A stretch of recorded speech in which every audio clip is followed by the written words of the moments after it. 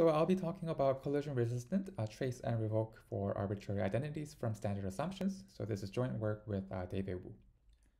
I'll be talking about trace and revoke schemes in this talk. So let me start by defining and motivating the concept.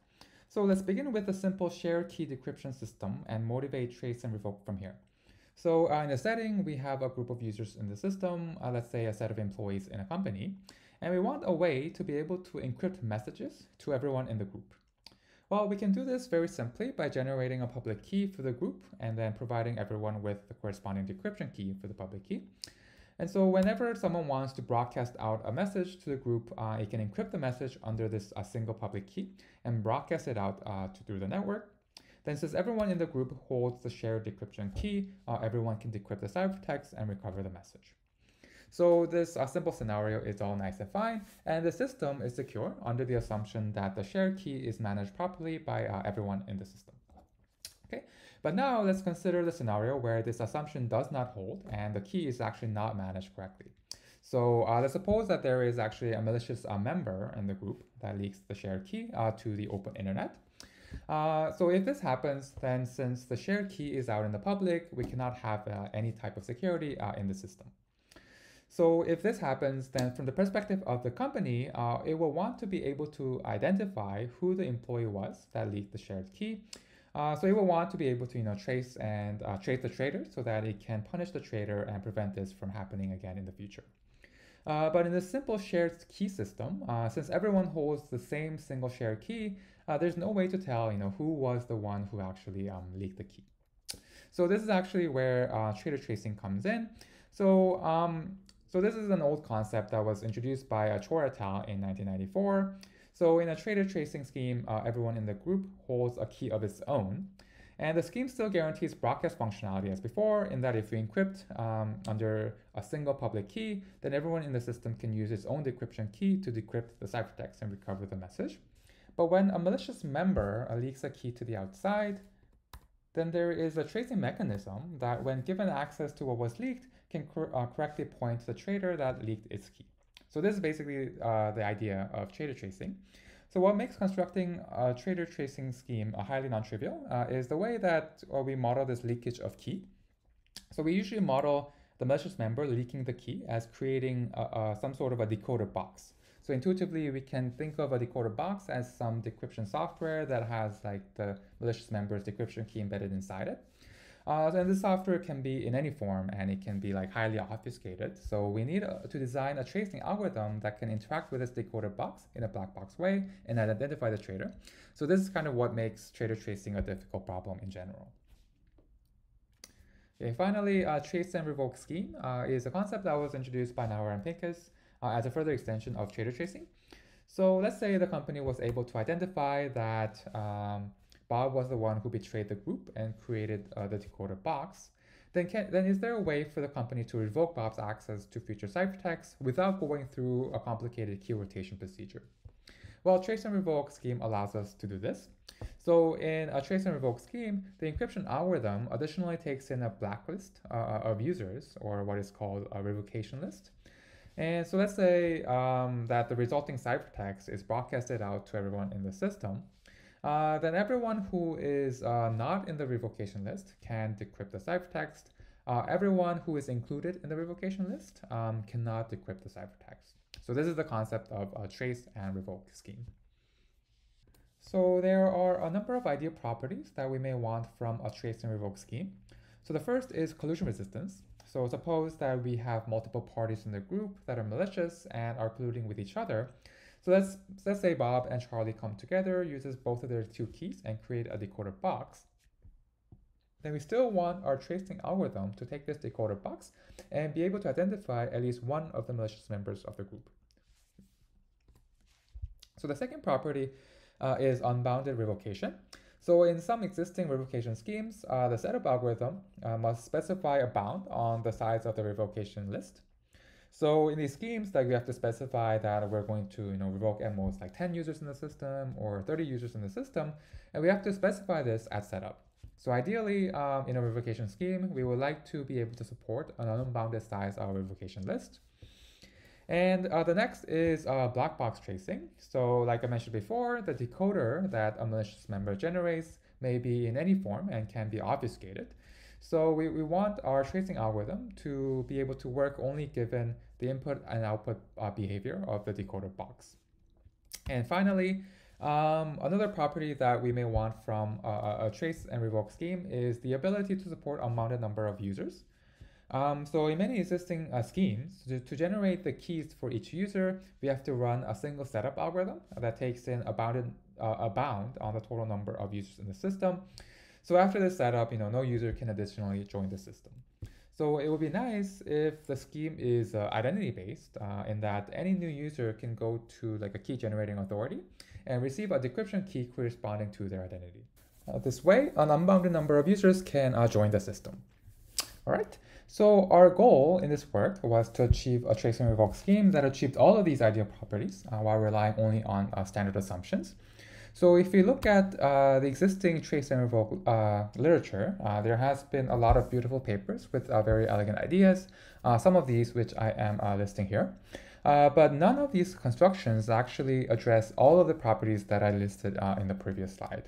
So there are constructions that only support security against like bounded collusions, which means that security is guaranteed only when at most a pre-specified number of users come together to generate a decoder. Uh, some of the constructions are, are not identity-based, so it can only support a polling number of users. Um, there are also constructions that achieve, uh, I guess, all of the properties um, that we want uh, from the previous slide, but it relies on strong assumptions like witness encryption or uh, indistinguishability obfuscation. So uh, in this work, uh, we construct a new trace and revoke scheme. So our construction satisfies all of the properties that I listed out previously. So it is fully collusion resistant, uh, it is identity-based, it can revoke an unbounded number of users. And we only rely on the hardness of LWE for our, our security.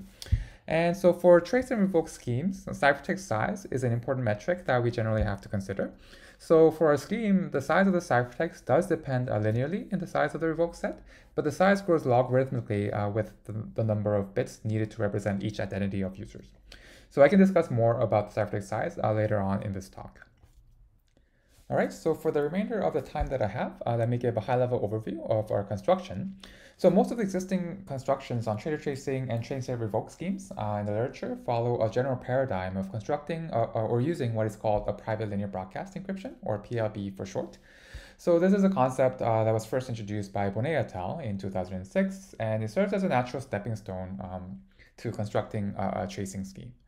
So uh, we also just follow this paradigm, and since most of the intuition for constructing a traitor, traitor tracing scheme uh, or trace and revoke is embedded inside this concept, uh, let me give uh, th this concept, let me describe uh, this concept in a, a, little bit more detail.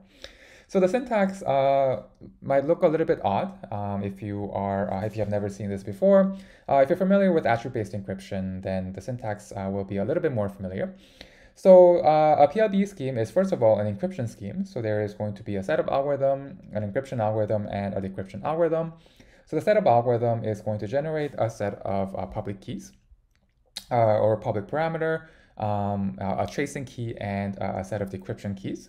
So intuitively, uh, we can imagine like a setup algorithm being run uh, once, and uh, the public parameters are public. The tracing key is provided to some tracing authority, and each decryption key is to be distributed to um, everyone in the system. Okay. Right, then uh, the encryption algorithm, uh, which I will denote by uh, PP encrypt for this talk, um, takes in the public parameters and a message, and it spits out a ciphertext, which I will denote by CT0 uh, for uh, reasons that will be clear in a minute. Um, and then the decryption algorithm um, is a natural one uh, that takes in a decryption key, a ciphertext, and produces a, a message in the end. Okay, so now what is special about uh, a PLB scheme is that there is another way of generating a ciphertext. Um, so this is what I am going to call uh, the TK encrypt, uh, which takes in a tracing key, uh, an index i, and a message uh, m, and produces a ciphertext, CT sub i. Uh, so the PP encrypt is basically a public uh, encryption algorithm that uh, only re that requires the public parameters uh, to generate the ciphertext. So the TK encrypt is basically um, a private key um, encryption algorithm that requires the tracing key to actually generate the ciphertext. So the correctness condition for a PLB scheme uh, guarantees that uh, a decryption key, sk sub i, can decrypt any ciphertext, ct sub j, for j less than or equal to i. So any decryption key, SKI, um, can decrypt any ciphertext that were generated via either the, the public encryption algorithm or the, the, the private uh, key encryption algorithm for indices um, that is less than or equal to um, i.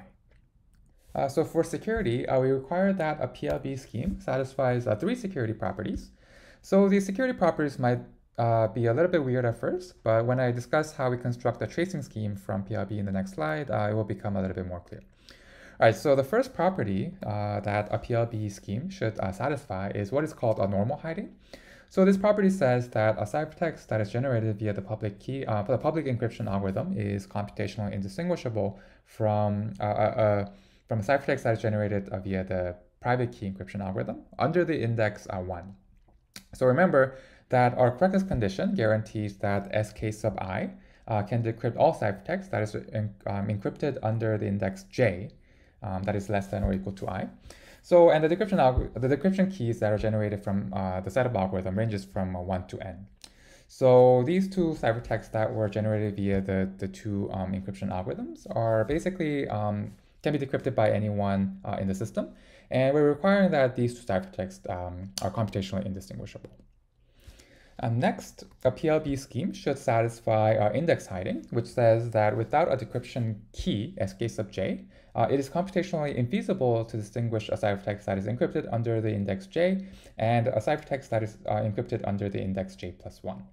So the correctness condition guarantees that if a user only has access to a decryption key that is under an index that is not equal to j, then you can either then you can either decrypt both of these ciphertexts or not able to or not be able to decrypt uh, both ciphertexts. So the index hiding requirement guarantees that without a decryption key for index j, uh, one cannot distinguish between these two ciphertexts. And finally, um, a PLB scheme should satisfy message hiding, uh, which is analogous requirement for standard semantic security. Uh, this says that without a decryption key for an index i that is greater than or equal to um, index j, the ciphertexts that are generated under index j is uh, semantically secure. All right, so let me describe how we go about constructing a traitor tracing scheme uh, from a secure a PLB scheme.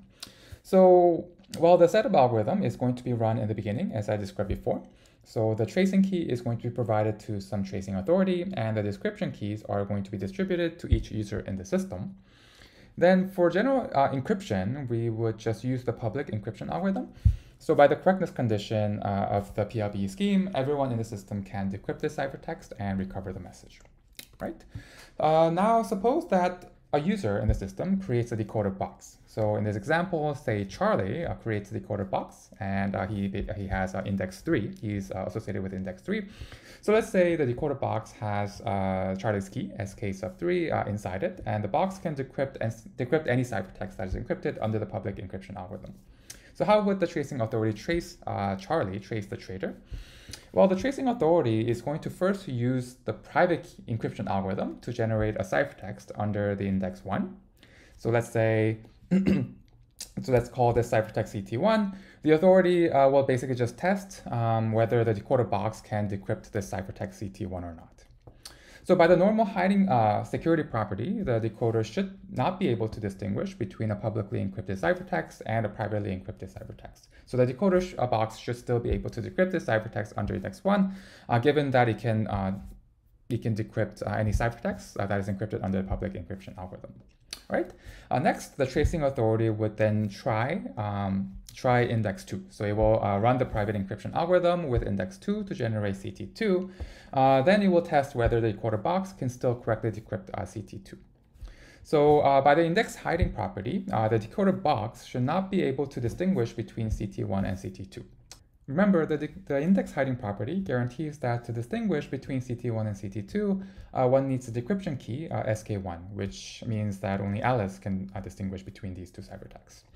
So the decoder box uh, that was created by Charlie cannot distinguish between CT1 and CT2, so it should, so it should correctly decrypt uh, CT2 right? And the tracing, of, uh, so the trader, the tracing authority continues this process. Um, so it uh, generates a ciphertext CT3 and tests whether the decoder works on the ciphertext or not. Then you will also generate CT4 and test whether the decoder uh, works or not on the ciphertext. Uh, now, by the message hiding uh, security, the decoder box that only has the, the decryption key SK3 uh, inside it uh, should not be able to decrypt ciphertext CT4. And this is because the index associated with SK3 is less than uh, the index associated with CT4, right? Remember that message hiding security guarantees that a key SK sub i can only decrypt ciphertext SK sub j for which j is like less than or equal to i. So uh, this, decoded box will uh, be able to correctly decrypt uh, CT3, but not CT4. So after testing out all of these ciphertexts on uh, the decoder box, the tracing algorithm can deduce that uh, Charlie was actually the one who created the decoder box. Of course, this is a, a, huge simplification, but this is uh, really like the main intuition behind tra behind traitor tracing um, from PLB. All right, so we know that a PLB scheme gives rise to a traitor tracing scheme. So what do we currently know about uh, PLB constructions uh, in the literature? Uh, well, there are a couple of constructions, uh, and from LWE, there is a beautiful construction that is due to Goyal et al. from 2018. So uh, we can use Goyal et al. construction to achieve a regular traitor tracing scheme that can support a polynomial number of identities. So our goal in this work was to construct an identity-based trace and revoke scheme. So we had to basically solve uh, two problems. Um, so the first was on constructing a traitor tracing scheme that allows us to trace uh, traitors from uh, an exponential pool of users uh, in order to make it identity-based. And the second was on adding a revocation functionality on top of this uh, resulting traitor tracing scheme. The first problem was relatively straightforward to overcome. So the starting point is uh, was the work of Goyal et al. Uh, from 2018, so which gives a PLB scheme from LWE that, that supports a polynomial number of users. But if you look at their construction, then algebraically speaking, uh, we can actually embed an exponential number of user information uh, in the ciphertext. So in order to upgrade um, the GKW construction from a polynomial identity space traitor tracing scheme to an exponential identity space scheme, uh, we just needed a tracing mechanism that allows us to trace uh, identities in, a, in an exponential identity space. So if you recall the tracing algorithm that I described on the previous slide, uh, the tracing algorithm tests the decoder box on like CT1, CT2, CT3, and, and so on. So this tracing algorithm uh, works only when we're working with like polynomial identity spaces, um, and it will not run efficiently for exponential identity spaces. So the question is, you know, how do we go about uh, tracing uh, tracing users from an exponential uh, identity space? And for this, there is actually a very nice work due to Nishimaki et al. from 2018 that gives a very nice tracing algorithm for like exponential identity spaces. so it is uh, basically a recursive uh, version of the tracing algorithm that I described on the previous slide. So if the tracing algorithm from the previous slide is like analogous uh, analogous to like a linear search, the NWZ tracing algorithm is analogous to like a binary search. Okay, so to construct a traitor tracing scheme for exponential identity spaces, um, it seems like we can just combine the techniques from uh, GKW and NWZ, and that is actually uh, exactly what we do. Uh, but we do have to be to do this in like a, a careful way, and in particular, the PLB syntax um, does not actually support the NWZ tracing algorithm. So we basically have to generalize the GKW18 construction from a PLB scheme to what is called a, a general a predicate encryption uh, scheme with some additional properties. So I will go over a predicate encryption in the next slide. And uh, the second problem of adding the revocation functionality to the resulting traitor tracing scheme requires a bit more, more work. Um, the main technique that we use is what is called a subset cover set system, uh, which is a specific combinatorial way of encoding user identities uh, so that we can revoke users efficiently. I will talk more about this um, after I discuss the predicate encryption. All right, so let me go over the syntax for our predicate encryption scheme. So I guess uh, much of this space is about the right set of definitions. So the notion of tracing is actually very subtle and it's important to have like a right set of uh, primitives to work with uh, in this space. Uh, so uh, the version of predicate encryption that we use in this work may look a little bit different from the traditional notion of predicate encryption. Uh, we're going to have the traditional predicate encryption algorithms, so the setup, keygen, encrypt, and decrypt, the version that we use in this work is a ciphertext policy predicate encryption. So the policy function is associated with the ciphertext and attributes are associated with the keys. In this work, we use predicate encryption with an additional broadcast functionality. So it has a broadcast uh, algorithm that takes in the public parameters and a message and produces a ciphertext, CT. The correctness condition is basically as follows. For ciphertext that was generated by the standard encryption algorithm, uh, a key sk sub x can decrypt the ciphertext ct sub f if and only if f of x equals to 1. And for ciphertexts that uh, were generated by the broadcast algorithm, any decryption key can decrypt this ciphertext. So this is basically almost a direct generalization of a PLBE scheme. So the broadcast algorithm corresponds to the public encryption algorithm of a PLBE scheme. The encryption algorithm here corresponds to the private key encryption algorithm in uh, PLB. What is a little bit different here from, uh, from than uh, PLB scheme uh, is that the setup algorithm uh, generates a master secret key. Uh, then the key generation algorithm takes in a master secret key and produces specific decryption keys for uh, different attributes. So this can support uh, exponential number of identities. So it is important uh, here to note that the broadcast functionality that we use here uh, is different from the strong broadcast functionality in the context of broadcast encryption. So here by broadcast, we just mean a way to like, encrypt so that like any key can decrypt the ciphertext. All right, so uh, and the security requirement, I won't go over it, uh, but it is uh, basically a very straightforward generalization of the security requirements for a PLB scheme. So if we had a, a, predicate encryption scheme with these correctness and security requirements, then we can combine it with the tracing algorithm of Nishimaki et al. Um, to construct a traitor tracing scheme that can support an exponential number of uh, identities. The question then is um, how we um, go about constructing a predicate encryption scheme uh, with these properties. And I won't be able to give the precise details in this talk, uh, so I will refer to the paper for the details. Uh, but the construction is very similar to the construction of uh, GKW, of the GKW PLB scheme. Uh, we basically just combine attribute-based encryption with what is called mixed functional encryption, uh, as was done in GKW. All right, so in the remaining time that I have, let me just quickly talk about uh, how we achieve revocation. So the main tool that we use to add on the public revocation uh, property to our predicate encryption is uh, what is called a subset cover system, which was first defined by Naor et al. Um, so I can define what subset cover system is formally, but I think an example will uh, make things a lot more clear. So let me just uh, go straight to an example. So I think about this as uh, a reverse Merkle tree. So imagine we have like a Merkle tree structure. So the root is associated with an empty string. Uh, and the leaf nodes are associated with a string that is determined by its path uh, from the root. So if L is the height of the tree, then each leaf node uh, is going to be associated with a string of length L. So we can construct a simple revocation scheme uh, just using this combinatorial structure. So right now, let's not care about tracing and let's just think about uh, constructing a simple revocation scheme. So uh, in a revocation scheme, each user is going to be associated with a leaf in the tree. So in this example, we have like a Merkle tree of height 3, and so we're going to have uh, 8 number of users. Um, then we're going to associate a, a, public key to each node in the tree. Um, so we're going to have a public key uh, for the root, uh, a public key for the node uh, 0, for the node 1, and so on. So we're going to associate a public key for each node in the tree. Then we're going to distribute the decryption keys to the users um, so that each user will have a decryption key associated with its leaf node and the nodes of its path to the root. So for instance, uh, user 0 uh, will hold um, a decryption key associated with the node 000, 000, 0, and the root. And uh, the user 100 will hold a decryption key for um, 100, 101, and, and, and the root. Okay. So that is how we will distribute the keys. Uh, now let's say we want to encrypt the message to everyone in the system. Uh, then what we can do is just encrypt the message under uh, the root public key. Uh, since everyone has a decryption key for uh, the root public key, everyone can decrypt uh, such ciphertext. Now consider we want to like revoke a user. So we so say we want to revoke a user 010. Um, so we want to encrypt the message to everyone in the system except for the user 010. Well, then using the Merkle tree property, we can identify a linear number of subtrees that covers all, all the leaf nodes except for the user uh, 010. So uh, we can then encrypt the message uh, under all the public keys associated with the root of uh, each of these uh, subtrees. Uh, this property guarantees that even if we have multiple users uh, that we want to revoke, say n number of users that we want to revoke, there will always be at most O of n number of subtrees that we can identify and encrypt to.